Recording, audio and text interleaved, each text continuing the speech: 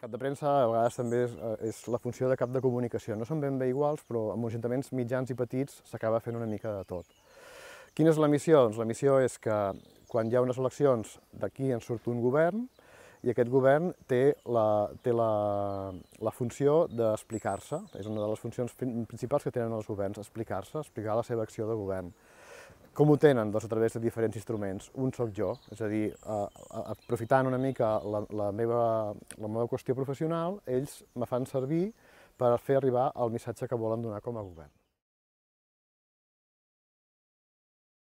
El principal error és moltes vegades la manca de comunicació, és a dir, un govern fa coses però no les explica, o no les explica prou bé o les explica malament, o tard bueno, aquí ens coneixem una mica tots i, i és una forma més que has de treballar. Vull dir, el, el tens, sí, tens el, el, el mitjà, tens la ràdio, que sort, ens ajuda molt, no? els, els mitjans digitals, internet, els Facebooks, els Twitters, tot això ens ajuda molt.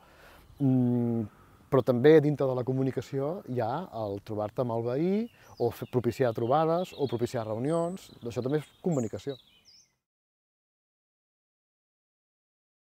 La relació és com amb els de dins, és transversal i, i ha, de ser, ha de ser franca i oberta. No, no, no pot ser de cap més manera. O sigui, tothom juga el seu paper, tots, el, el, partint de la base que en aquest cas jo sóc un tècnic, és a dir, jo tinc un polític per sobre que, que, que ell m'està dient com he de moure'm, com, com he de fer les coses, no?